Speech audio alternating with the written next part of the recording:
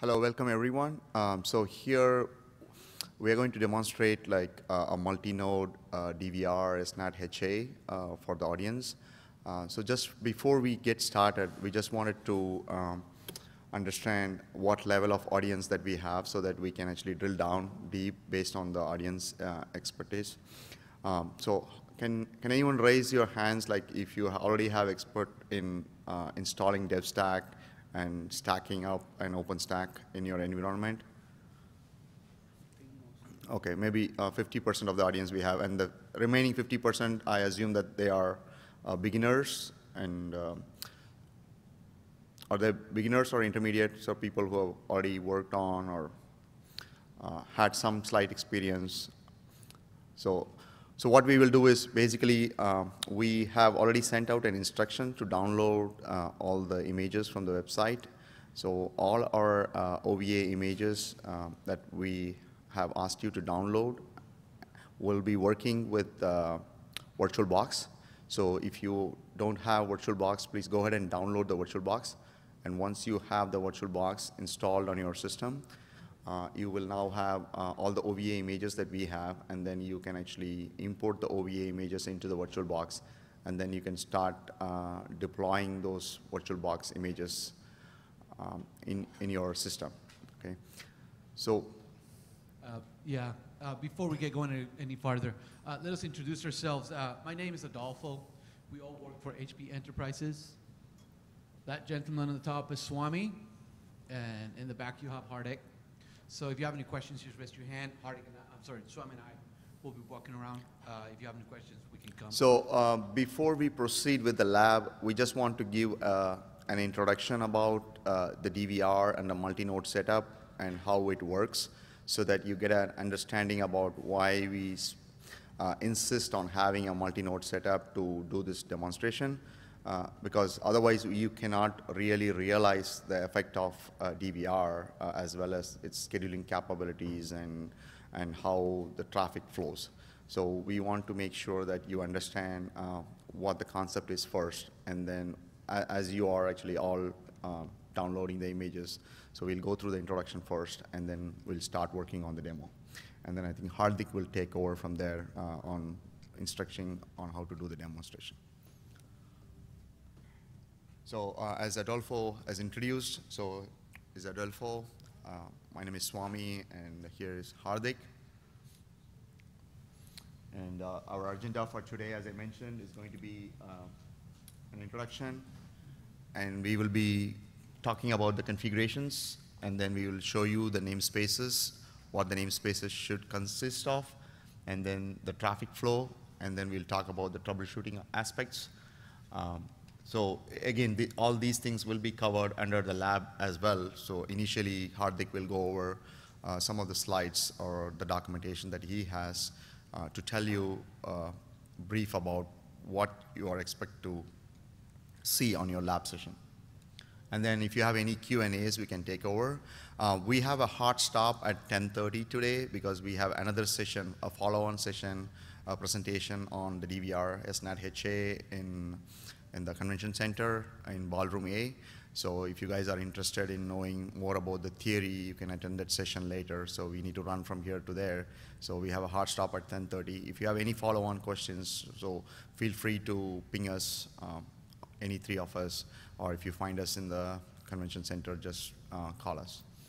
So um, just before I, we drill down deep into the lab session, uh, I want to give an intro on uh, how the DVR works.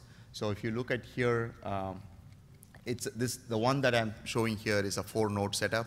Uh, but since we don't have uh, enough resources uh, in our laptops, we just restricted it to a three node setup just to give you uh, a hint or taste of what it would contain. So basically, DVR is, a, is a feature is an implementation feature that's in Neutron that either you can have a centralized router or a distributed virtual router. So once you configure as a distributed virtual router, uh, you can configure L3 agent in two different modes, okay? L3 agent can work in a DVR mode and a DVR SNAT mode. The DVR SNAT mode comprises of uh, the legacy option as well as a DVR option. So basically it's a, it's, it's it's basically used in a network node scenario where you have an SNAT capability, where you need an SNAT capability. That's when you need to enable uh, the DVR L3 agent as a DVR SNAT agent. If you don't need SNAT capability, you just need the floating IP as well as uh, you need the compute resources, then you can just have uh, the DVR. You can start the L3 agent in a DVR mode. So these are these two are compute nodes. In here, you you have to start the L3 agent in a DVR mode, and these two are network nodes. So here I have an active node and a standby node. Here you need to start the DVR in a DVR SNAT node. The only difference, as I mentioned, in the DVR SNAT mode, the L3 agent will be capable enough to um, implement the SNAT functionality as well as the regular functionality that it would do. Uh, you can also use the DVR SNAT node for implementing your computes, uh, but in a, in, a, in a standard regular scenarios where you are deploying for production, you don't normally don't mix the network, network and compute. You normally separate network and compute, and that's the reason we want to have uh, a lab setup where we have a three-node setup where two nodes are DVR SNAT and one node is a compute node. So the two nodes for DVR SNAT we have is to demonstrate how the high availability for SNAT works because the reason we introduced this high availability for SNAT was um, previously the DVR uh, SNAT was running in a centralized network node and it's a single point of failure. So if anyone is using SNAT uh, heavily and if that node fails, then you don't have a capability to have um, higher availability.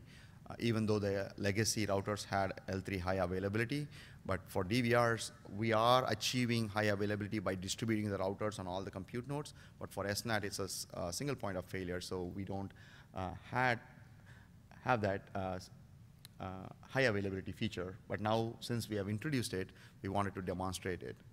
So uh, does anyone have any uh, questions on, on this high-level architecture?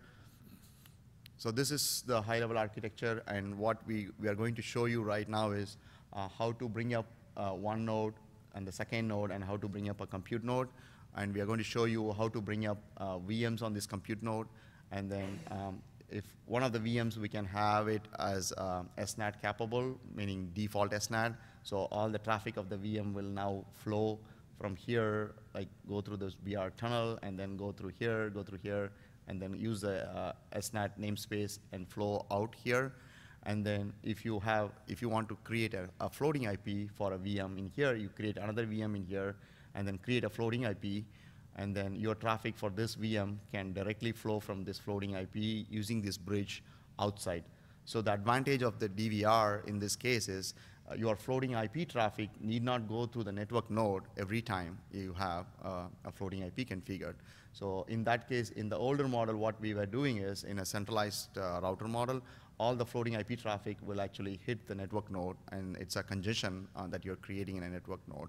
So now, since we have distributed, we have the floating IP traffic flowing directly from the compute node to the outside world. And also the outside traffic can actually hit the compute node uh, through this network.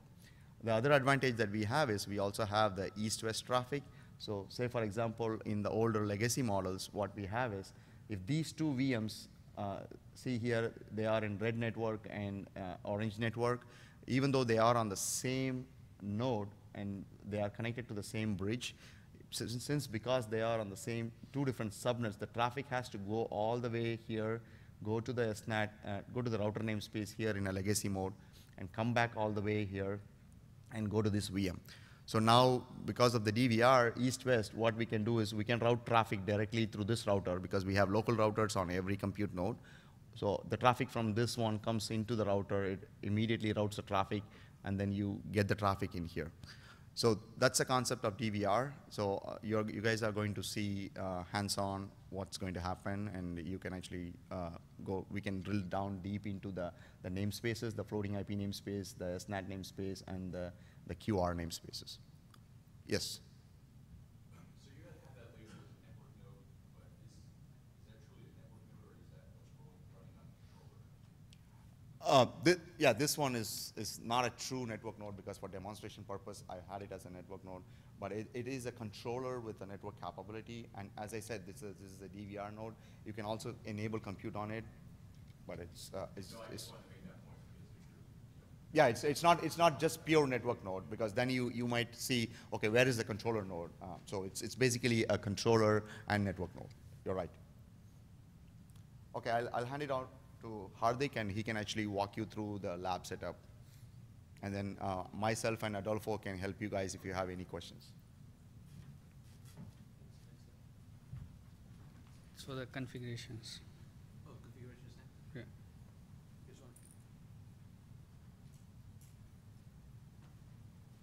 So before we go for the demo and go for the hands-on lab, uh, uh, we also wanted to go over the, the new configurations or configurations required and how to configure for the DVR, SNAT, and HA functionality.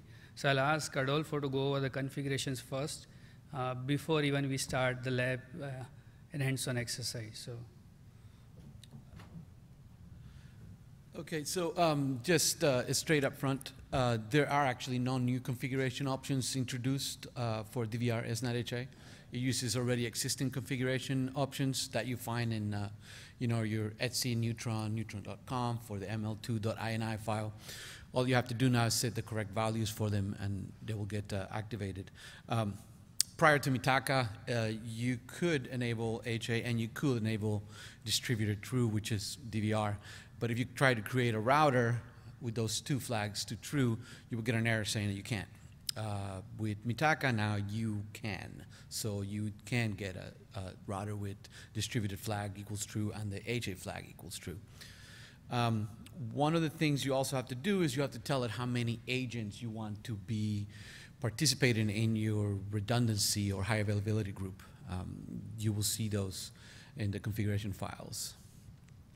And um, you also have to set the configuration default for the router type. In other words, when you don't specify the value of the distributor flag or the HA flag, um, you have to select something. That's usually uh, dependent on your configuration in the uh, neutron.conf file.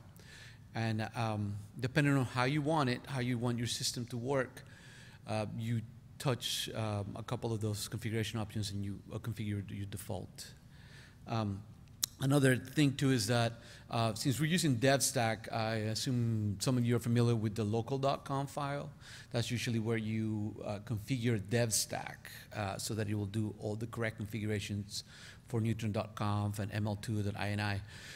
If you want to see, uh, when you bring up the images, just take a look at the local.conf file. Uh, you will see the options that need to be set. We try to strip it down so that it only has, the ones in your image only have the ones that are pertinent to what you're going to be doing today. So hopefully, if you forget everything, when you walk out this room, you can actually look at that local.conf file and it'll give you an idea how to set up something in your lab. Um, again, that's just for DevStack, so. Um, uh, and this is how you set your, uh, your default um, uh, router.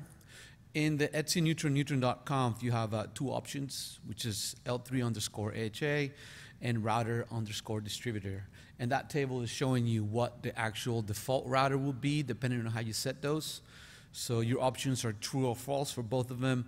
And the column on the right-hand side shows you what your default router will be, depending on how you configure those files. And in this case, we're using CVR as a centralized virtual router, or what will be called your legacy router. So here's an example of the uh, controller node configuration. This goes to your question. Um, one, the controller, uh, in this case, the Swami, the, the diagram he had, one of those neutron um, nodes was out, is actually acting as a controller as well. And what that means is you have to set these particular variables uh, on the neutron.conf file. And as you can see there, the top two are router distributor and L3HA. Those are the flags I just mentioned in the past slide. The other things, um, the, you know, the 3HA net CIDR and the max and min uh, for the agents are in exactly the same ones you will use for L3H legacy, and they just simply um, give certain options that the HA needs. Uh, one of them is a, a, for the HA network, which you will understand what that is once we go into the lab. Um, and then the other, the max, it just tells you how many uh, agents or nodes you want to use in the group, and the minimum tells you how, uh, how many you, what's the least you can have. So obviously two is the least, all right? If you put it at one, then you don't really have any HA. And then the ML2 conf of the network node, all you have to do is enable distributor route, uh, routing true. Okay, and uh, you also have to do the L3 HA, which I showed before.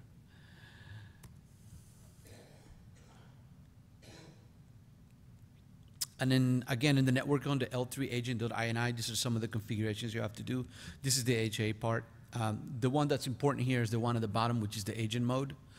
You have to put in DVR underscore SNAT. Uh, DVR has two options for the L3 agent. One is DVR SNAT, which runs on the what you will call the network uh, node, and the other one is DVR, which is what you will do on a compute node. Uh, in a network node, you obviously have to do DVR underscore SNAT.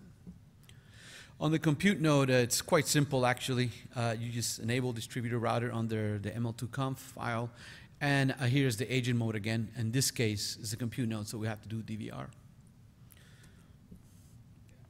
And I'll hand it over now to Hardik. Thank you. So uh, I think before we start, we just want to see how we are doing with the lab setup, right, in each of your own laptop. So does anyone have a kind of imported all the images and just put up the VMs?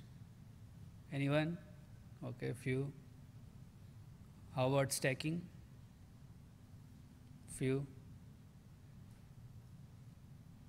Okay. Yeah, so maybe I'll also, before we go to the slides, let's go to, I'll just present some of the my environment here, which is pretty much the same. You guys can see it. So I also using the same exit images with the virtual box, uh, where I have a two controller and one compute node, right? And I also wanted to show a little bit about the networking that I set up. It's pretty much there in the uh, guide, but once you go to the setup network, I want everyone to use adapter 2 for the virtual box. So this could vary based on your environment. I'm using VBoxNet 3 and 4, but it could be different number based on when you create it, right? And uh, VirtualBox 3, uh, adapter 3 as a VBox some number. Because, and I also wanted to show when you go to the networks, you go to the host only networks, and then when I click on the VBoxNet 3, you see I have specified a specific IP address. So this is, the lab is designed in a way that uh, the images have a hard-coded IP addresses uh, for all three nodes, uh, just to make sure that uh, all of the VMs you can reach from your laptop, right? So this IP will be configured in your machine and then uh, 132.2 is the first controller, 132.3 is the second controller, and dot 4 is the compute node. And the second adapter, uh, we just configure this IP address to do some exercise for the floating IP and uh, just trying to reach to this IP, right? But if you go to the VM and if you see your uh, second interface which doesn't have an IP address, so that's expected. Okay, and maybe now I'll go to the machine, right? So this is the controller, so let me go back. So basically I'm using the IPs, I think it already mentioned in the documentation like how to access each node, right? So I'm just going to the controller. The username and password is stack stack, right? And then when you go to the, there's already an, in the, under the home, there's a devstack folder and which already has a local conf that Adolfo was mentioning, right? Oh. So this we have kind of uh, created. Uh, some of the service we already added just to kind of match how the uh, how they are running the upstream CI, right? So we kind of copy this local conf that general OpenStack upstream CI is running, and we little bit trim it down to make sure it works proper with the DVR right? So some of the settings that we are mentioning in this one. So you see the Q DVR mode, right? That is specified as the DVR SNAT agent. a DVR SNAT that is for the controller or the uh, network node. The other thing I wanted to mention is uh, so these are the way you can also configure, right? So if you see that we are configuring the neutron conf, this is exact the same settings that Adolfo was saying, right? You turn on the L3HA to true, and you specify the minimum and maximum number of agents per router, right? So in this setup, we only have a two controller or a network node, so we just set the value to 2, 2.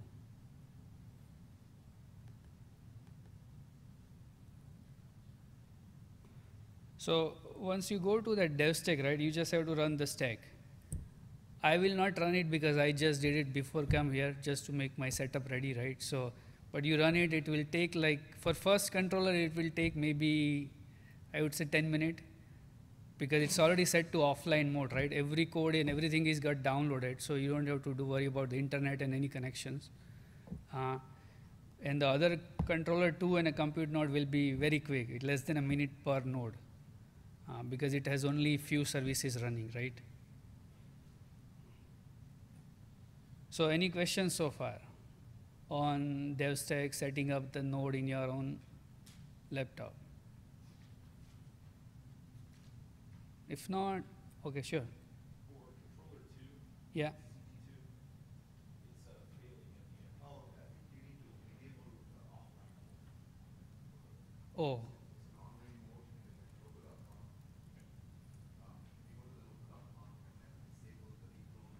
Uh, it should be offline true, so, but I'm not sure. We double check, but if you see, I'm on the controller too. Oh, okay, okay. Okay, yeah, so it's good to know if you hit into that issue, uh, make sure this two flag, right? So offline true says like uh, you don't download any kind of uh, code, right?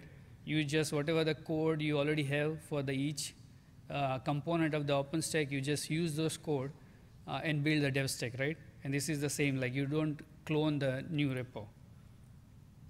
And in case if you want to see it, it's under OPT stack. Uh, you have all the repositories for the different components that are that are running on the the dev stack environment.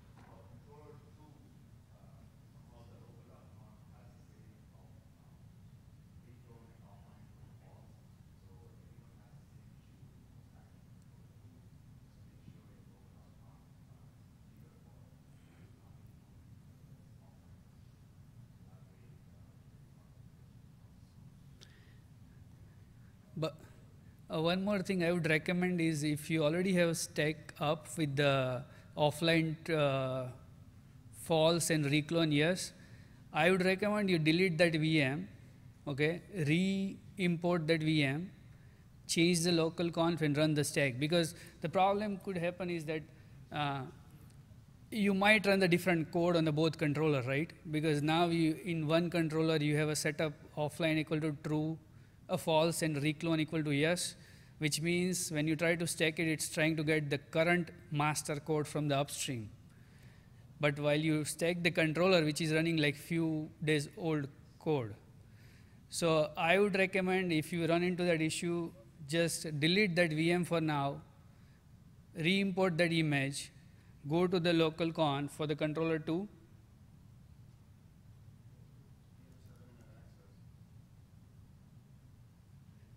Sorry? Uh, that's fine, but if you set those settings properly with the offline true, the dev stack will not go to the internet and try to get the repo. Yeah. So you will like mismatch the running the code on both controller. So yeah. Yeah, then just go to the controller and change those two flag as mentioned here. Offline true uh, and reclone no and just restack it. So that all the nodes have a same code.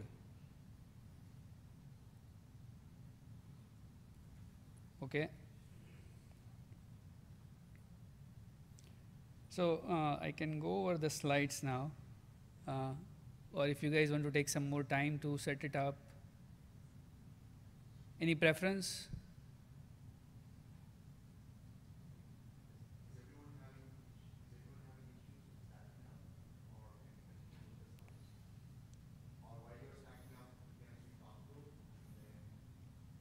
Yeah. So maybe I can go over go over the slides, uh, and then once everybody is stacked up, I can also uh, run the lab here, and you can do it together. Sounds good? Okay.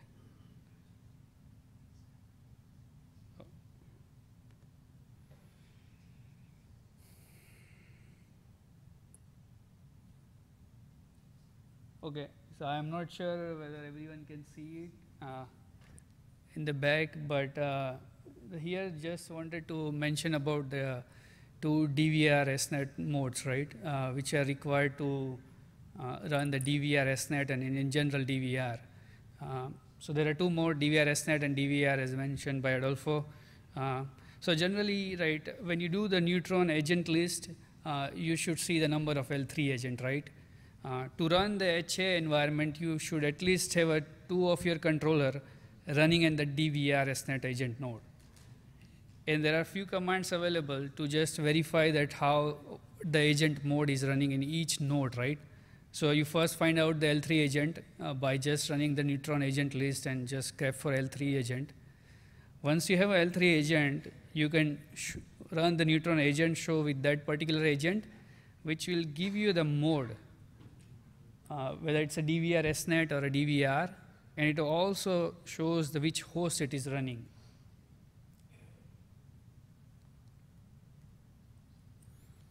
So now, uh, with as uh, Adolfo mentioned about that from the Mitaka, right? Uh, if you see this option, how about router creation, right? So now you can set up the distributed as well as HA to true, right? and at the end you will have a distributed uh, SNAT HA router running in your environment. Before Mitaka, you can still have this command, but when you execute it complains that, okay, it's not supported for now. Even though you use the same config, it will just complain, right? So the two screenshot mentioned that based on your default configurations, uh, in your default configuration, if you have already set up for the DVR and HA, then you really don't have to pass those flags. You just create a router and any router will be uh, DVR and HA enabled, right? So these flags are available just for the flexibility in your environment if you want to create the CVR, DVR, HA, non-HA routers.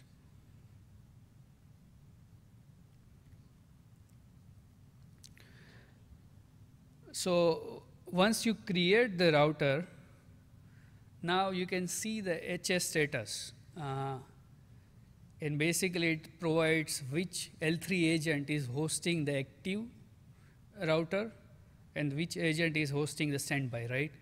Uh, so it's sometimes it's easy to troubleshoot to, to make sure that uh, where exactly uh, your SNAT namespace will be active where all of your traffic will be flowing externally, right? So if you see in this example, uh, it says that the active is running on the controller 2 and standby is on controller 1. And the other one thing to note is that if you have previously created a router, uh, a DVR router, uh, when you execute the DVR router, it's just a simple database entry, right, from the previous releases. Uh, it doesn't do anything, it just creates the DB entry in the backend. But now with the DVR SNAT, when you create a DVR SNAT router, just creating a router will create the namespaces. If you see in this example, uh, same namespaces, Q router and SNAT namespaces will be created on each controller. So that's little different than if you are used to with the previous DVR uh, routers, right? So as soon as you execute command, it will be, namespace will be there on appropriate number of controller, again, based on your configurations. Uh, this namespace is, will be there, but it will only have a loopback addresses. There is no other interfaces attached. Just the loopback address is there. And as it is an HA, it will also create a HA network. So if you remember from few of the slides where Adolfo mentioned about a specific CIDR for the HA network, something like 169 or any network, right? So based on that configuration, so first of all, that HA network is a is an OpenStack tenant network. You do not have to create it. It will be created by itself, by the neutron itself, uh, when you create a HA router, right? So as an example, uh, let's stop here, go back. So now, right, I am on that uh, dev stack.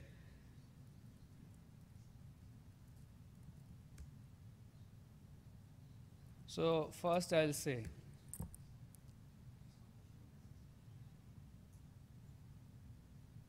there are no networks, and I'm sure there are no routers too. So now I'll go ahead and just create a router, right? I'll not uh, specify any flags because these configs are already set up uh, for the distributed as well as HA, right? So it created the distributed equal to true, and it says HA equal to true, right? So now if you do those previous commands again,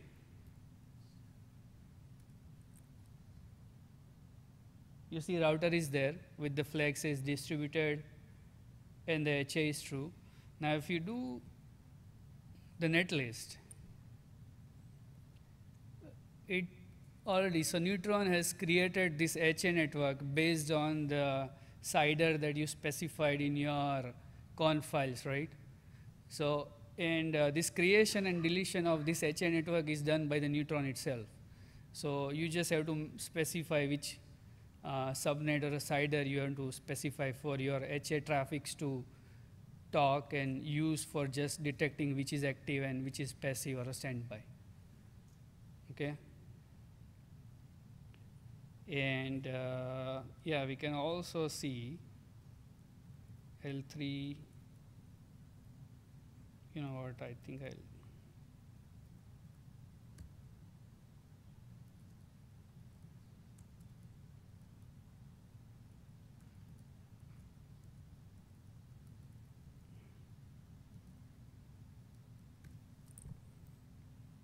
So now we can see the status, right? Uh, there is a HS status there. Uh, if you just do the DVR, you don't see those active passive. Uh, so in this example, we can see the controller 2 is hosting the active router or active SNAT router, uh, but controller 1 is in standby, right?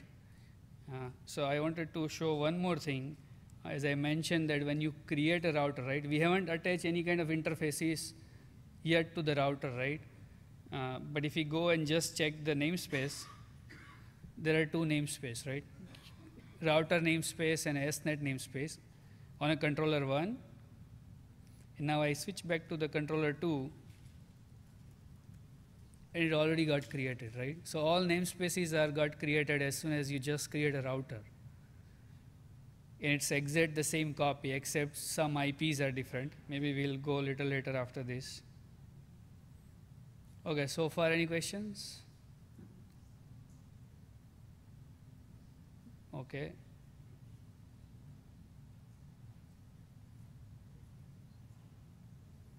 Uh, Slide.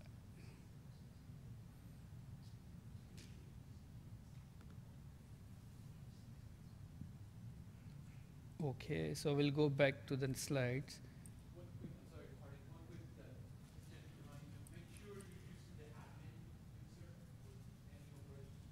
That means when you do, so when you do source, openrc, admin, admin, otherwise you're gonna get demo user which has no rights to see into this. Yeah, actually, yeah, it's good to know, right? Because DVR routers needs admin rights unless you change your policy.json files to to override those settings, right? Uh, so that's a good point, actually. Just when you source that file, I think in the instruction it also uh, saying to do the admin admin. Okay, so uh, go going back to the slide. So as I was saying, right, uh, after you create a router, it already has a namespaces. So uh, this is the namespace. Uh, in this one, I'm just going to the Q router namespace. And the second, I'm going into the SNAT namespace. So if you see the Q router namespace is only ha- is having a lo- loopback address or loopback interface. But if you see the SNAT, inter- SNAT namespace, which has a loopback plus HA network. So what it does, it, it also creates the neutron port uh, and bind that neutron port to that each SNAT namespace. So it already assigned the IP address, right? We'll look into it detail. But here on the controller 2, there is one difference. If you noticed, Q router namespace is pretty much same, only loopback interface. But SNAT, on the SNAT interface, if you see the HA router or HA interface, which has one more IP address, uh, which is 169.254.0.1. So that is basically an virtual IP address, right? For HA to work, basically. It is just a basic HA. Uh, so whichever the agent or whichever the SNAT is acting as a, um, as running as an active uh, namespace, which will hold that virtual IP.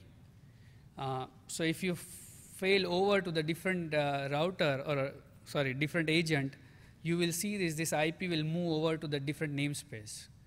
Uh, we have some exercise on that just to see how it's moving the IP from active to the standby and standby to the active. Yeah, and this IP is also used for uh, monitoring, right? Just to see that uh, the health of this uh, namespace or uh, agent is fine, which is hosting the router.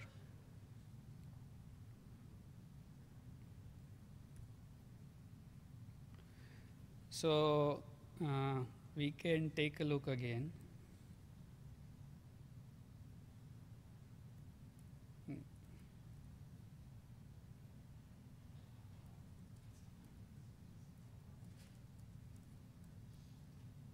So in this sim, it's I think same.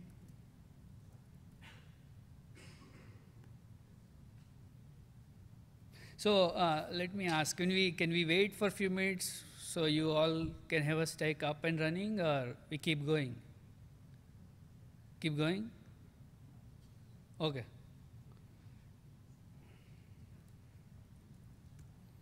See, it only has a loopback. So again, the Q router namespace, everything is a, it's a just a copy, right? So same thing on the controller too.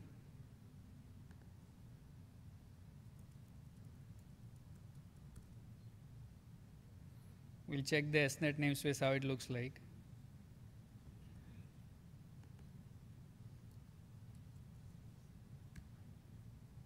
So as the controller one is hosting the standby, uh, it only has a one IP address, which is just to do some communication for the HA traffic.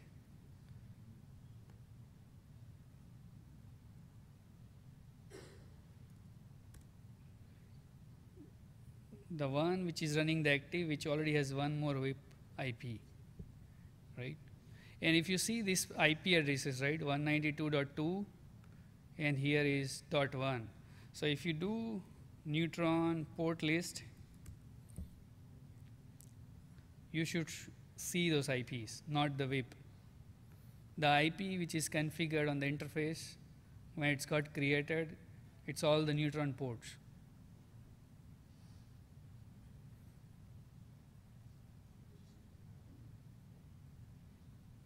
And in fact, in this lab, right, you can also try exploring uh, creating a non-HA router. It should still work. Uh, just make sure you set the HA to false and just create it. Uh, and then you see the namespaces, right? You will see the difference between the HA and non-HA in a DVR. And in case we can create.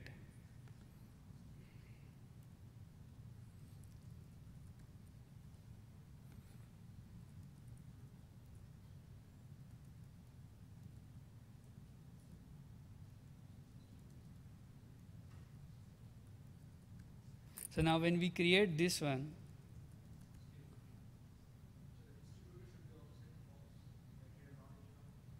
uh, no, I just set up to true because I wanted to create a DVR router but non-HA, right? So here we can see the difference, right? The oh, I created the same name, so which is little weird to check down, but that's fine for now. Uh, the first one I created both as a true, and the second one I created as a true and a false.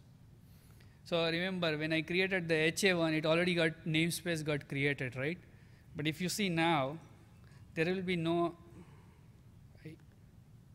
there will be no uh, extra namespace. It is still the same thing. So that's a difference to remember, right? If you suddenly see the namespace when you create a HA router, uh, but if you are not used to it when you used to create the DVR router. So that's one difference you should keep in mind.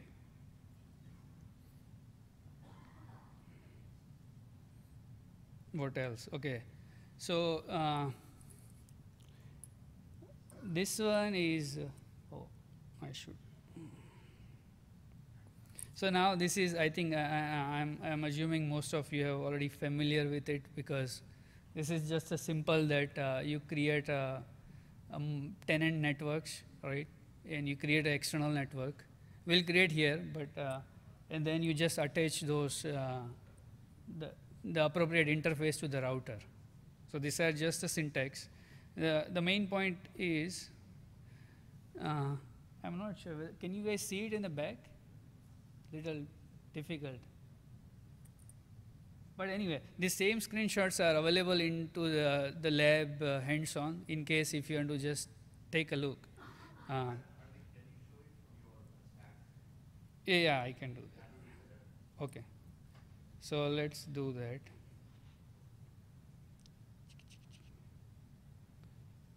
Uh, so I don't have any network, so I'll just create quickly. So I'll create first tenant network and I create two tenant network. So now we'll have a three network, two N1, N2, and then the HA network got created. I'll create subnet for each.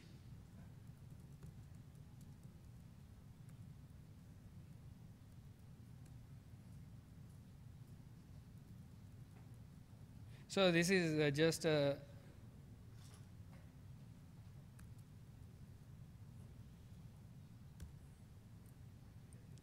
So now we have a basically a two tenant network. Again, this is just a neutron stuff. Uh, now I'll create a external network.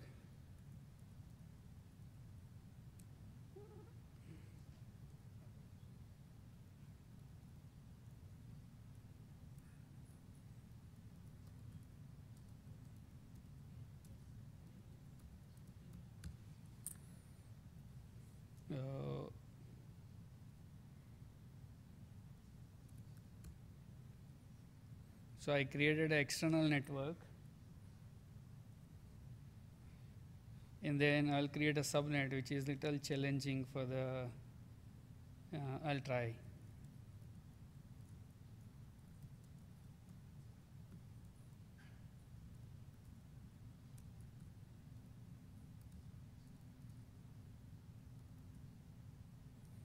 So this command, right, I want everyone to use the same subnet in even your environment. It's already there in the document, uh, so that you can at least uh, explore the connectivity from your VM to the external world.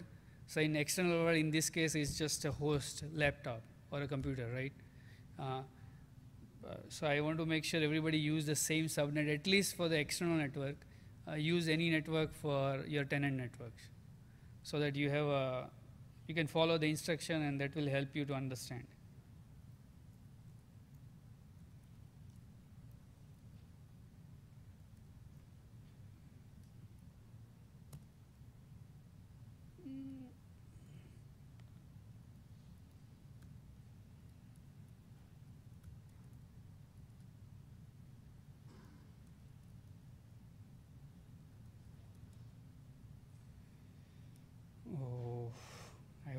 not uh,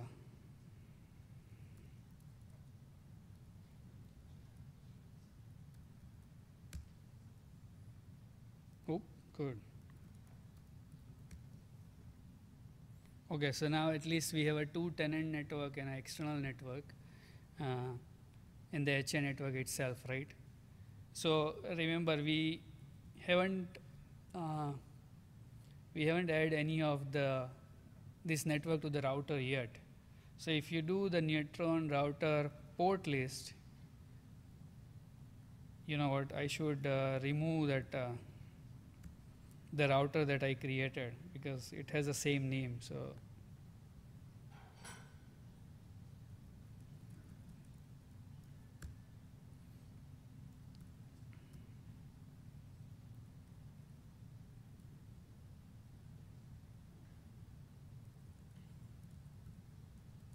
So now we'll add the two tenant network to the router, or before that I should also do neutron port list for that particular router. So as we see there are only two ports, which we already know that they are uh, bind to the each SNAT namespace on each controller, right? So now I'll go ahead and add the internal tenant networks that I have created. And then I'll add the other one.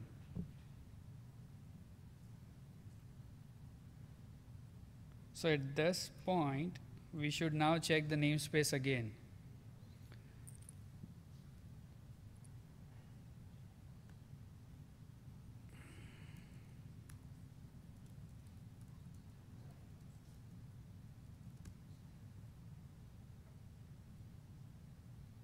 Oh.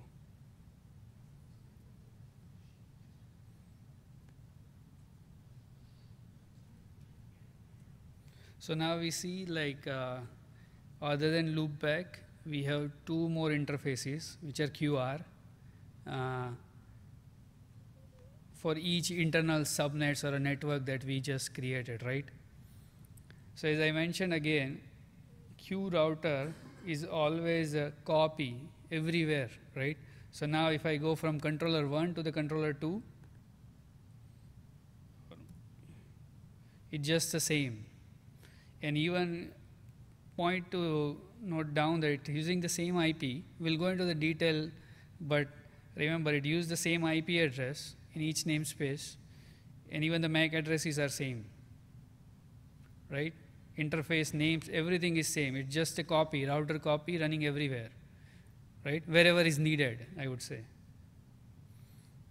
And then we'll check SNAT thing.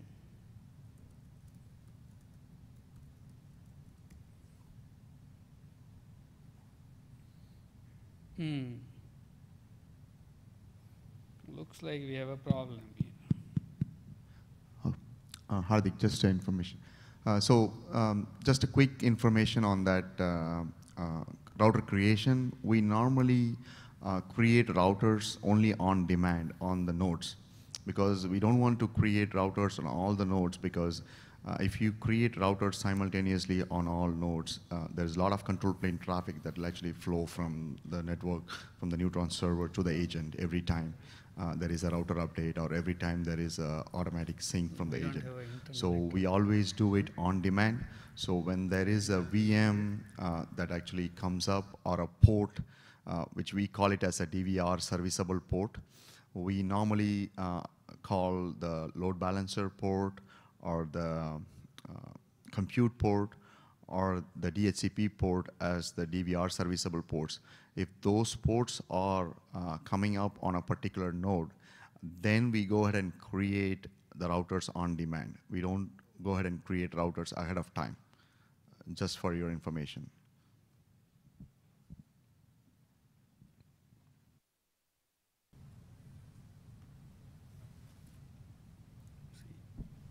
So we hit that issue. Okay, so I just made some modification. So here, if you see, I already added an external gateway. So now our router has a uh, interface connected to the external network, and it also has an interface connected to both of those internal network, right? So now let's go back and check the namespace how it looks like. So QR, no changes. Uh, yeah, no changes. So in the SNAT, so the initial two we already discussed. There are three extra port got created, right? So remember, SG ports are always associated with the internal tenant networks. Oh, okay, sorry. So, uh, so SG interface is uh, inside the SNAT namespaces are correlate to the tenant networks, right? And the QG port, which is basically connected to the external world or external network. So in this scenario, uh, if you see that all of those interfaces are down and it doesn't have IP addresses. Now if we go back and check the other uh, namespace on the controller 2, and now we can see all the SG and QG ports are having IP address, right? Which is saying that this controller 2 is hosting the active um, DVR SNAT router for now. So that's one point. And again, remember when we execute that command like uh, L3 router hosting agent, we see that active and standby status, right? So whichever is hosting the active, that namespace will only host the IP addresses, right?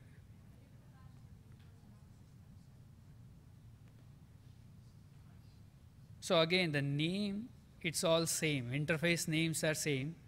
It use the same MAC addresses. But in this case, if you see, it's just a down, right? It doesn't have IP addresses because it's a standby. Sorry?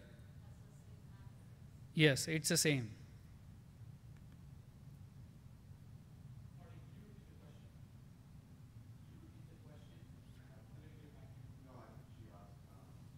It has the same MAC address. Yeah. That's true. And again, in the QR router namespace, it will be the same as Swami mentioned, right? Same copy. Uh, What we do to uh, get rid of this same MAC address problem is we don't want the underlying switches to see the same MAC address. So when a traffic actually goes out of through the tunnel endpoint, uh, using the VR tunnel, when, it, when the east-west traffic goes out, we actually modify the source MAC. Uh, we have a local MAC uh, for every node. Uh, it's a unique MAC that we generate for every node that, that is in your network. And each node has a unique MAC, so we actually swap the MAC and send it out so that you're not exposing your gateway MAC anywhere outside in the, um, in the local switches.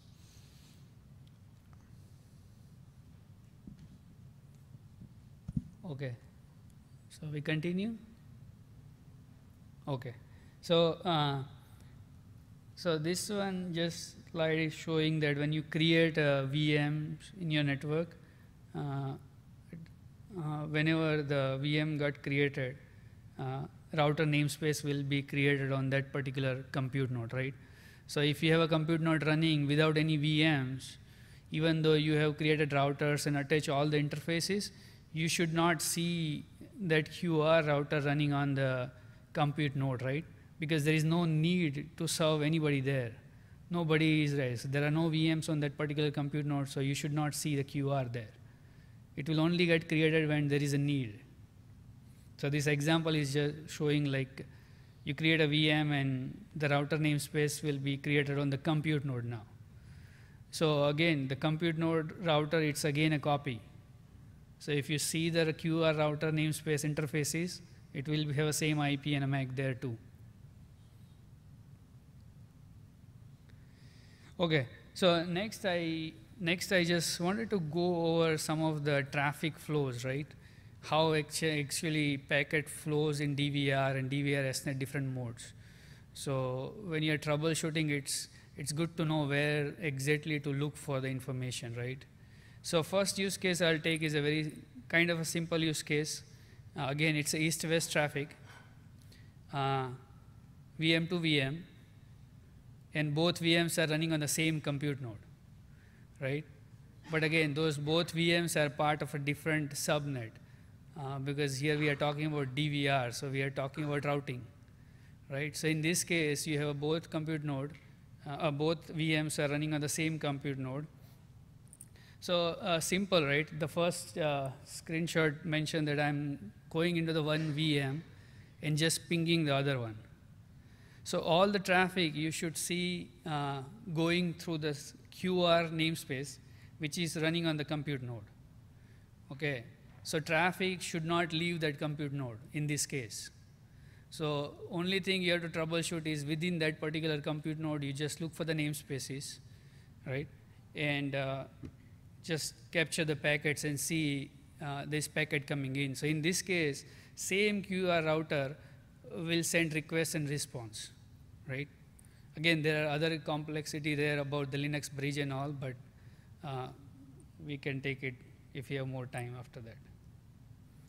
So this slide, I just wanted to show about uh, how uh, how neutron ports are correlated with the OVS or Open vSwitch ports, right? Uh, because when you create uh, any neutron ports, uh, you have that UUID, right? So how do you correlate that UUID when you are troubleshooting the OVS or OpenFlow or any kind of Open vSwitch things, right? So first, if you see on the first screenshot, I just did the neutron port list and grep for the VM's IP, and I found those two UUID, right? And on the left-hand side, I'm running the OVS vsctl show command for just to see which are the ports are there in the integration bridge, right?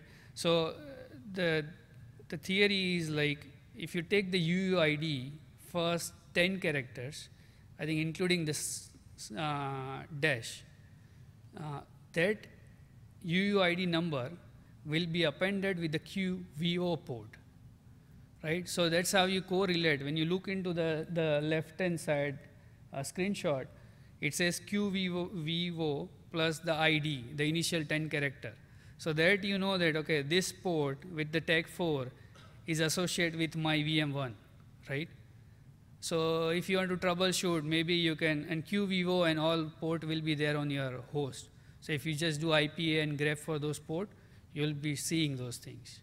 Uh, maybe I can do it real quick after this, right? And you can even capture the packets. So even if you hit to the router, you can look into those ports and figure it out whether it's even coming there or maybe some Linux bridge is doing some security or anything like that, right? And then on the second screenshot, I wanted to see that I run the command says uh, OVS, OF, CTL, dump port description, and the bridge name. So there we are exactly seeing the same port, but there is one more number in front of it.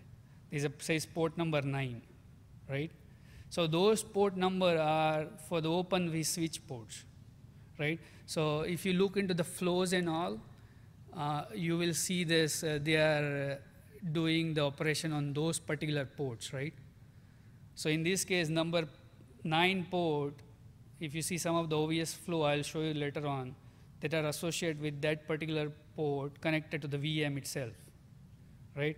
So let me boot VM, I'll show real quick. Now, uh, I'll just boot real quick.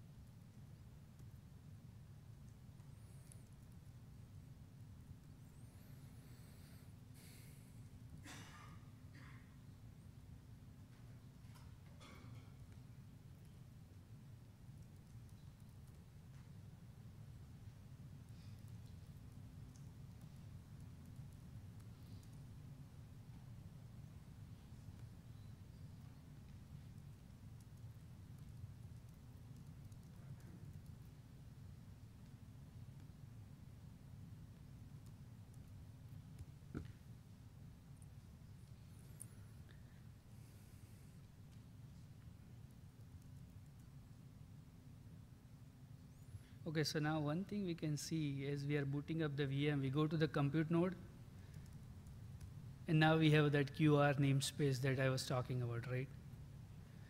And then some of the command we can run. So integration bridge. and I am suspecting this is the first port. So QVO tagged one. This port is basically our VM port on this particular compute node, right? And maybe we can quickly look that ID 471.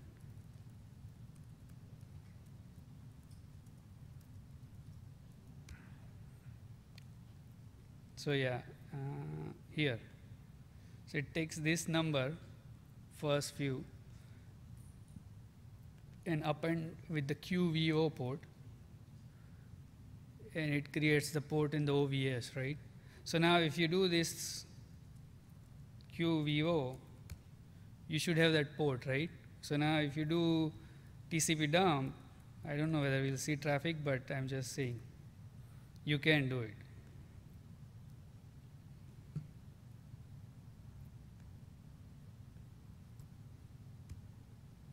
Yeah, we'll see some traffic if we are sending some traffic here.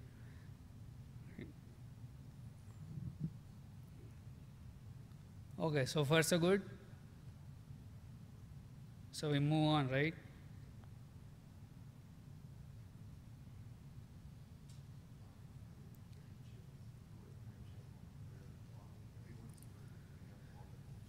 Yeah, yeah, okay. So how are we doing with the DevStack? All good? Yes? No? Yes? Good. So I don't know whether we'll get time to do all the exercise by yourself. I don't know how much time. Oh, we have 25 minutes left, right? So I, I still have a lot of slides to cover for rules and all. Uh, so I think we should finish at least slide, uh, and then you can exercise by yourself if time permits, and feel free to ask.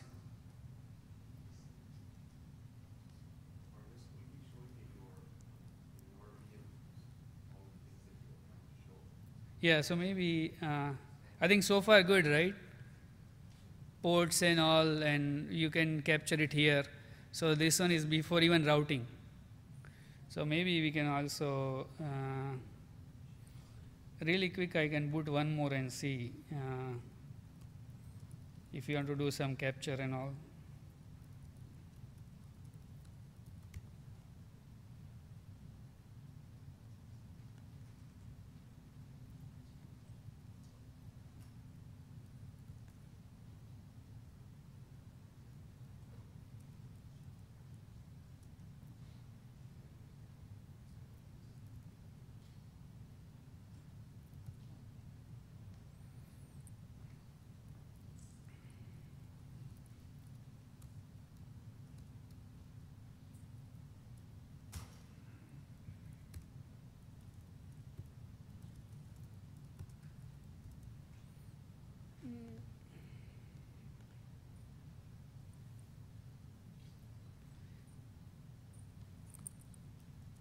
So now, oh,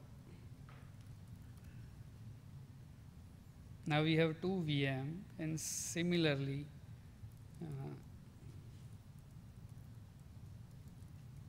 you will see one more QO port uh, here, which is on a different network. So we'll have their own internal tag.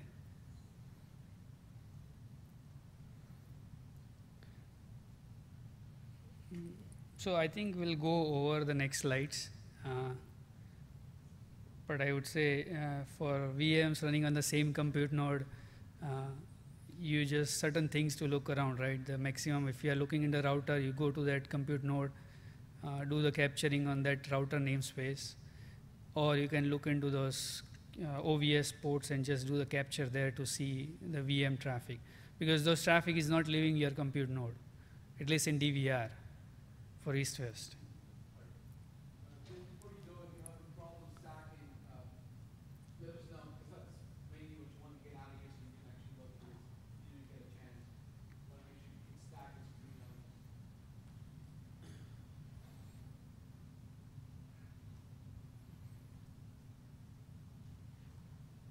Oh, mm.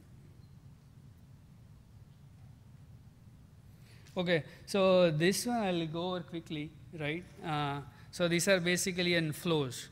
Uh, this is not in particularly all the DVR flows, uh, but some of the general flows that how uh, the traffic is flowing from one bridge to the other bridge and how they are communicating, right? Uh, and then some of the screenshots are there. So you can execute this command once you have your DevStack running, and you will be able to notice all those flows, right? So in integration bridge, right?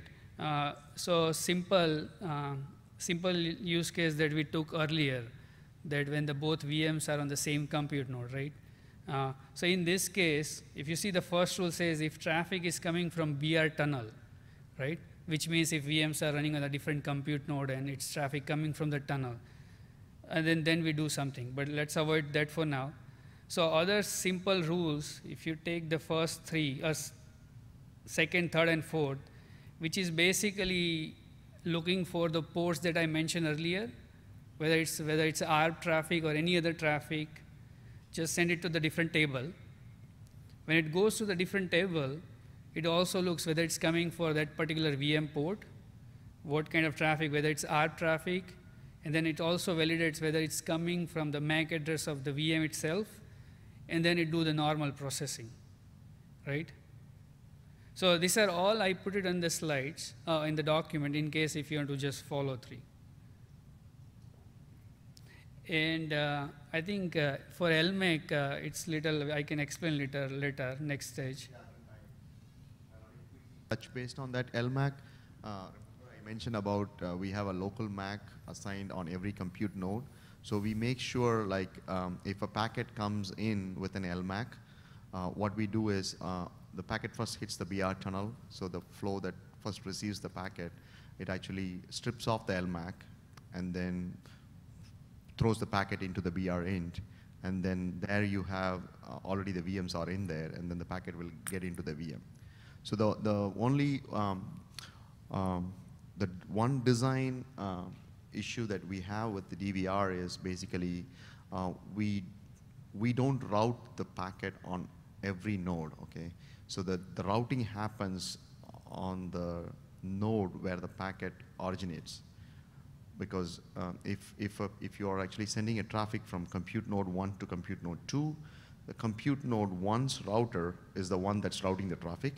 The compute node 2 just receives the packet. So if you want to do some kind of uh, stateful firewall or something on the, uh, on the routed packets, you cannot do statefulness because we are not doing routing on both sides. It's kind of a, uh, asymmetric routing that we are doing because we are doing routing on one node, and when the packet is coming back, we are doing routing on the other node. So when, it when the receiving node receives the packet, there's no more routing in there. It just drops it into the BR int, and the packet just flows through. So in order to address this uh, statefulness, uh, what we have done is, I think the initially firewall as a service uh, used to be uh, applied onto the ports inside the router namespace. Uh, because of this statefulness issue, what they have done right now is uh, they are redesigning the firewall as a service to apply the firewall rules on the VM ports itself. So before the packet even hits the BR int from the VM port, the firewall rules are all applied in, in, in the VM port. Either we, you use the um, uh, OVS-based firewalls or you use the regular-based firewalls. Pardon? Yeah, but, but in the case of Neutron port is a layer three port. So how do you apply the firewall rule on layer two port? Yes. No, no, no. I- think um, what the, the restriction, what they have done is, um, um, because the firewall was associated with the router, they, they don't want it to be associated with the router, and they wanted to move it port-based firewall. So they are moving it into the port base, and once they move it into the port base, so what we recommend is if we are using DVR, um, just don't apply the firewall rules on the DVR router ports, because you will not get a stateful uh, firewall in that case. Okay. So when you have a, when you set up a router in a tenant space, Mhm. basically that router will copy it to each of the nodes. Yes. Yep. And then every single time you need do the routing is local routing. Yes. Yep. Yeah, so that's uh, so if you see the first rule, right? If traffic is coming from the different node, right, and it's matching one of the LMAC, so LMAC is unique per node, it goes to the table one, and if you see in the table one, it strips the VLAN ID, okay, and remove the like set the source MAC address. So it's remove the local MAC, and put the routers uh, or a VM's gateway MAC and send it to the VM port, right? So LMAC and all, it's only uh, basically when it's leaving a node from a BR tunnel to the other one, it rewrites the source MAC to the LMAC MAC. While coming back on the BR tunnel, it removes the LMAC and put it into the router's MAC, right? So these are the flows. Uh, I would recommend once you take a look, it's based on this flow, if you follow it, it will be easy to understand. I think uh, just for the audience sake, uh, there is also a YouTube recording that we did a presentation in Paris Yeah. uh, regarding the DVR, which actually clearly explains the tables, the OVS flow tables, uh, what the- what are the flows that we added and what are the tables that was existing and how the flow goes through. Uh, so if you have some time, just uh, make sure that you go through that uh, YouTube video. Yeah. So as, as Swami mentioned, right, and I'm saying like these are, I'm just summarizing the flows that you should see it in your environment, right? These are not all DVR related, but I'm just trying to give you the overview and summary of how the flows are there inside the OVS. Uh, this is a good utility to look for like how the OVS is learning, right? Uh, for so if you see the 7, 8, and 6, 9, those are all two of them are VMs and two of them are router port, which has a VLAN and all. So it's good for showing the whole MAC address that is MAC and a port learning by the OVS itself. So when any of the OVS flow goes through the normal processing, it hits to this whole table and see where the MAC and port binding is there. So this is a good command to look in your environment. Uh, I have one thing to add. Um, because we are using the LMAC and we are not exposing the gateway MAC outside of the node, uh, so what we do is we also prevent ARPs from going out of the node. Yes. Because we don't want uh, ARP to be polluted with all the gateway MACs from coming from different nodes. So what we do is we actually prevent any ARPs going out of the node. Uh, how, how the DVR works is um, we prevent the ARP, but what happens is the control plane takes care of populating the ARP database in the router namespace. So whenever a DVR serviceable port comes up, we know where the port is coming up, is landing up, and then we know the MAC of the port. So what we do is the control plane goes and writes the ARP table in each of the router namespace. So as soon as the port lands into the node, we, the ARP table is, is populated by the control plane. So we don't, we don't send any ARPs outside. We prevent the ARPs, just for your information. So if you have any issues in, in, in, in pinging to a port, you're not uh, getting a response from a port, the one thing that you can actually go and check is go to your router namespace and see if you have the ARP table populated for that particular MAC. What?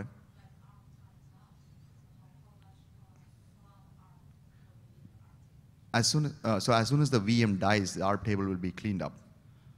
So what we do is um, that we have a, a binding between an L2 agent and an L3 agent. So when an, whenever an L2 agent cleans up a port or deletes a port, we get a notification back to the Neutron server, and the Neutron server goes and cleans up those ARP tables. So it's not left over there forever.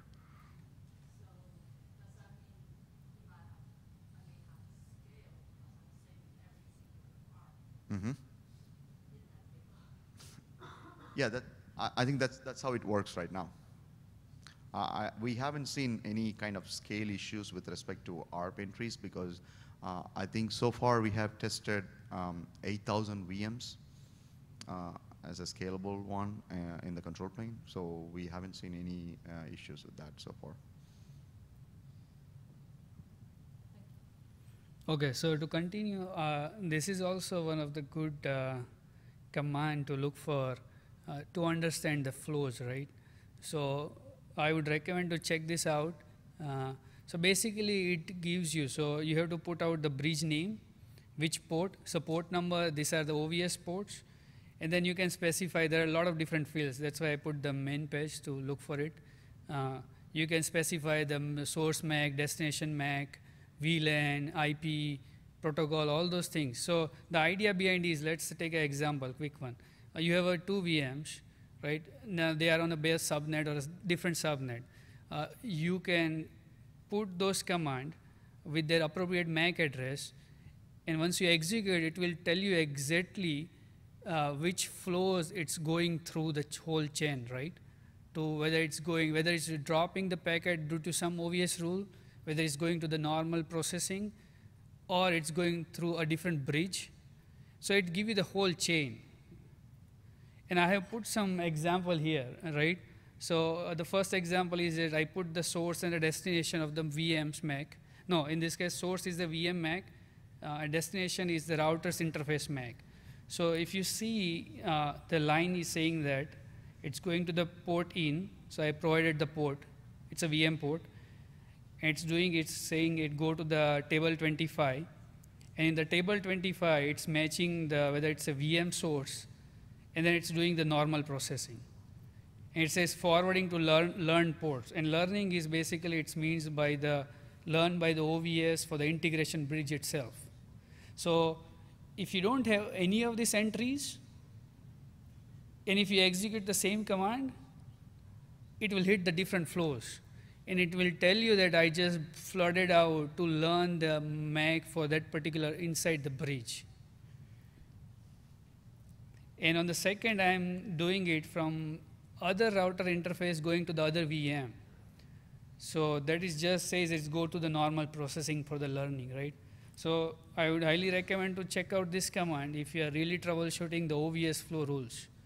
Because in a larger environment, you may have a lot of flows and it will be kind of difficult to figure it out which flows to hit, right?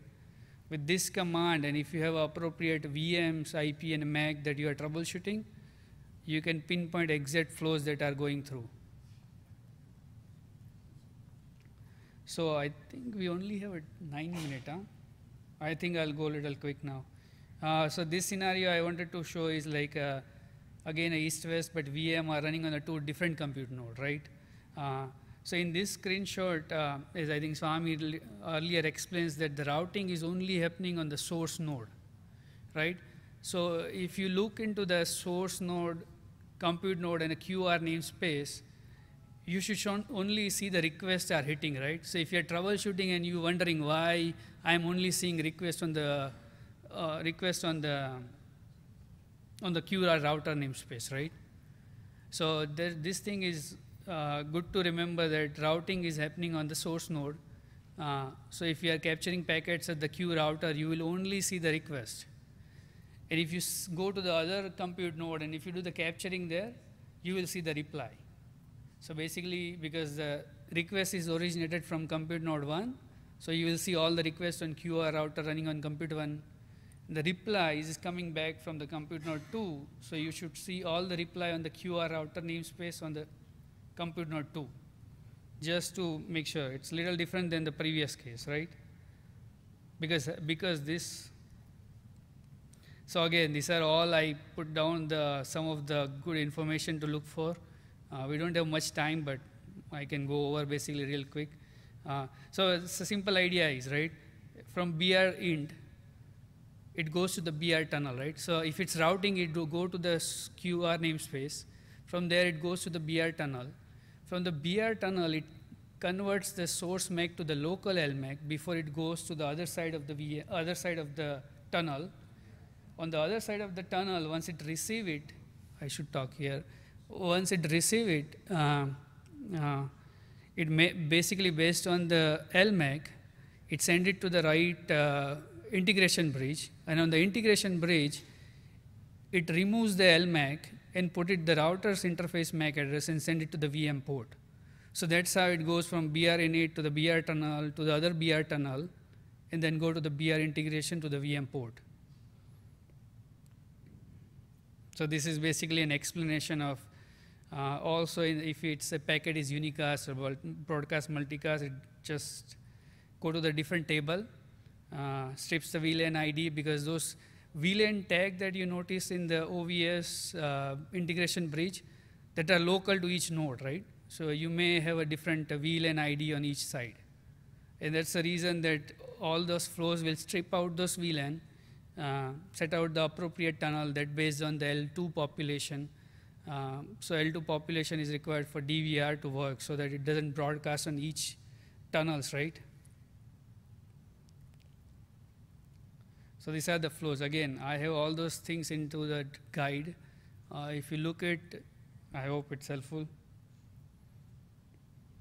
So this is I just explained, right? If it's coming from the VXLAN, uh, you modify tunnel ID, set the local VLAN, and just set it to the BR int. Uh, in the integration bridge, again, you remove that LMAC and put it to the VM port. So this is the same thing. You remove the LMAC and put it to the VM port. I think we have only five minutes. Hardik, a quick time check. There's only five minutes. So, I have So- few slides. Maybe I'll just quickly go Just over. quickly go over the slides Yeah. and then uh, But again, uh, everything is there in the lab instruction. I, I hope you can find it helpful. Oh, he has a question. So.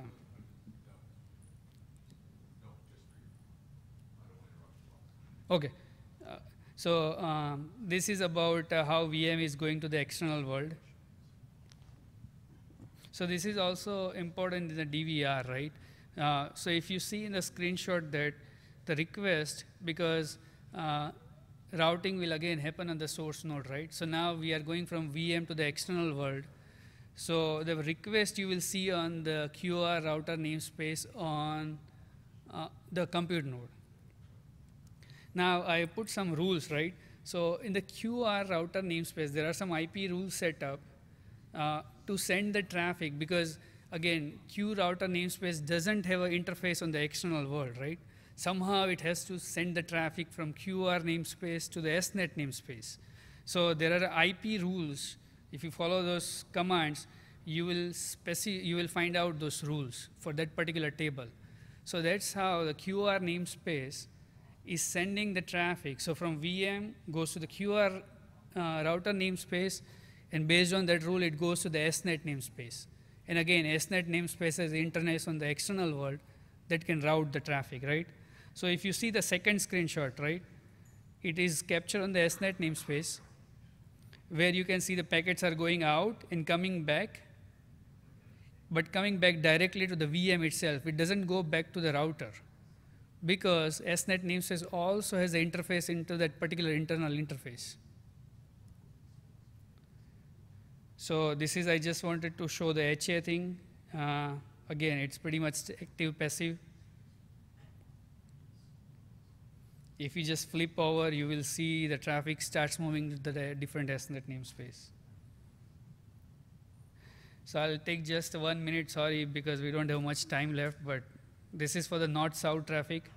Uh, north-south is basically when you assign the floating IPs to your VMs.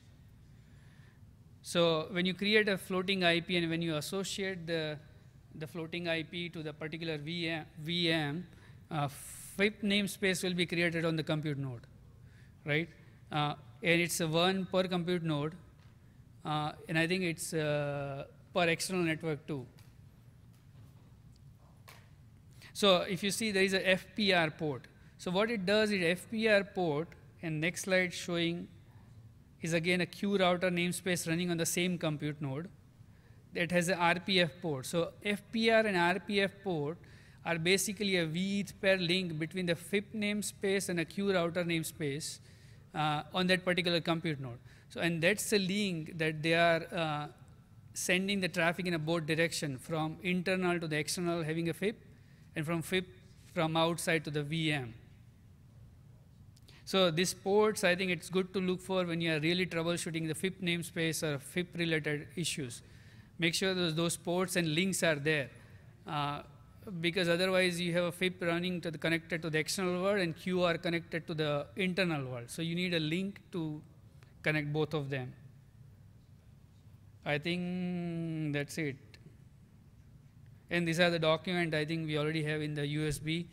Uh, if you haven't read it, please copy it, uh, run it by yourself uh, when you get a time, and feel free to send out an email. I think all of you have my email, right? So if not, uh, maybe you can get it. I sent out an email, so hoping you have some email contact for me. Okay, thank you.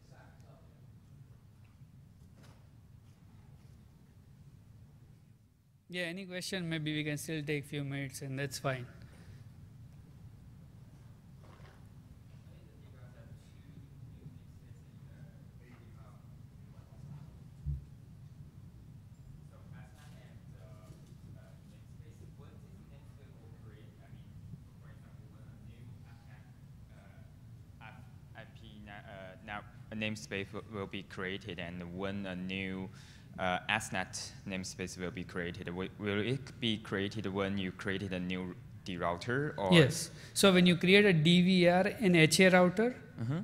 when you just execute the neutron router create, the, both the namespace will be created on all the number of controllers based on your So both FIP and uh, will be- and a QR Okay. router. Okay, so when will the FIP namespace? So FIP namespace will be only created when you, so when you create a floating IP and then you associate a floating IP to a VM, Mhm. at that moment the FIP namespace will be created with all appropriate ports. Okay. right? And FIP namespace will be only deleted once you un, uh, once you disassociate all the floating IP, Mhm. as well as now from Mitaka or even a little earlier that you also clear the gateway on your router. Okay. Then and then the FIP namespace will be go away. Otherwise, it will just remove and add the ports. So does Mitaka support multiple floating IP pool or mu- multiple floating IP blocks, or we have we can have only one floating IP blocks, like uh, one public network created? Do you know if Mitaka will support multiple External. Yes. Okay, so we can create. So, uh, I think, uh, floating IPs, uh, floating IPs are asso- are associated with uh, external networks. So if you have multiple external networks, you will see uh, two floating IP namespaces. If you have two external networks, uh, you will, you will see two floating IP namespaces on a compute node.